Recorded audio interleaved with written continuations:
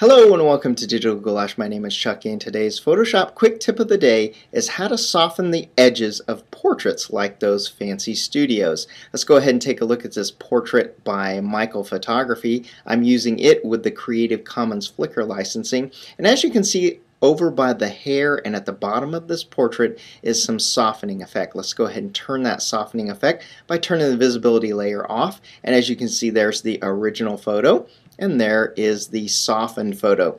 So let's go ahead and jump right in. I'm going to delete this layer so we can start from the beginning. Now the first thing you want to do is do a command or a control J to duplicate our layer in the layers palette.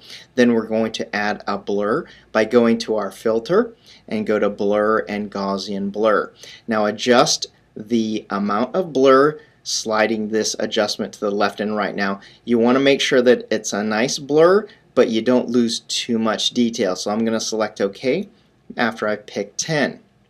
Now what we're going to do is we're going to go to the bottom of the layers palette and we're going to add a layer mask. That is a little square with the circle in it, so go ahead and click on that and then we're going to jump over to our toolbox and select the gradient tool. You can hit G on your keyboard or you can just click this particular icon here.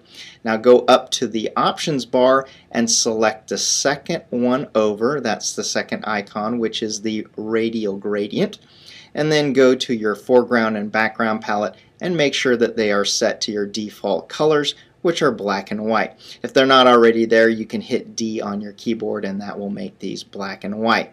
Now what we're going to do is we're going to start somewhere around the middle of the eyes and we're going to click and hold and draw a line to the very edge of our portrait right there and as you can see it puts a nice softening effect all around the picture.